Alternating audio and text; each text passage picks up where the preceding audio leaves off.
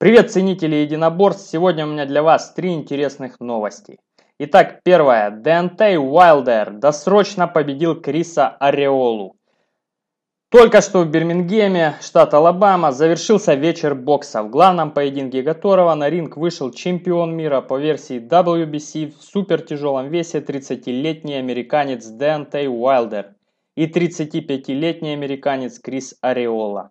Уайлдер завладел явным преимуществом с самого начала боя, отправил Ореолу в нокдаун в четвертом раунде, однако не форсировал события и вел поединок в невысоком темпе. Во второй половине боя преимущество Уайлдера стало еще более подавляющим. Он без труда потрясал Ореолу своими ударами. Плюс к этому возле левого глаза претендента образовалась большая гематома. В итоге после восьмого раунда угол Ореолы отказался от продолжения боя. Но для Уайлдера этот бой не прошел бесследно. У него есть подозрение на перелом правой руки и разрыв бицепса. Все более подробно покажет обследование, но теперь Деонтею точно придется подлечиться. Вторая новость. Глава японской компании Ryzen FF Набуюки Сакакибара предложил Федору Емельяненко провести на их турнире второй поединок. Мы очень хотим увидеть у нас Федора, и от нас ему уже давно поступило соответствующее предложение, цитирует Сакакибару ТАСС. В любом случае, я думаю, что несколько бойцов, представляющих Союз ММА России, который возглавляет Федор, на наших шоу в этом году выступят. Даже если сам Емельяненко не выйдет на наш ринг. Так что мы с большим интересом ждем участия российских бойцов. Напомним, что Федор Емельяненко в прошлом году объявил о возвращении в бои и 31 декабря в Японии провел поединок на турнире Ryzen FF, в котором одержал досрочную победу над Джайдип Сингхам. В данный момент Федор Емельяненко не имеет контрактов на бои и может принимать предложения от любых организаций. Так что в скором времени надеемся опять увидеть бои Федора.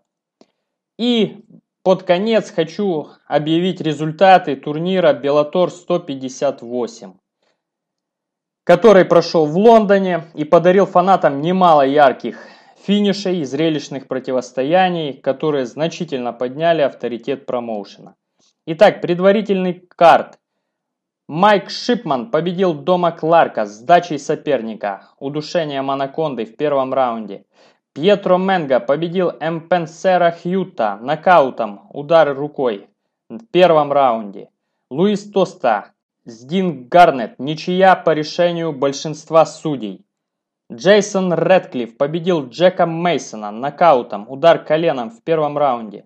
Натаниэль Вуд победил Чейза Мортона с дачей соперника, удушением со спины в третьем раунде. Дэнни Митчелл победил Си Джей Микса с дачей соперника в первом раунде.